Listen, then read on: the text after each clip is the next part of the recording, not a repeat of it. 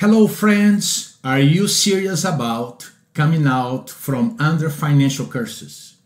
Are you serious about stepping out in faith and move to a higher level in life?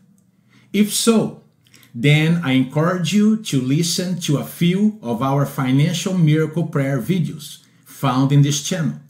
I encourage you to start by listening to the one that is coming up shortly here and will appear at the center of this video in just a few seconds from now.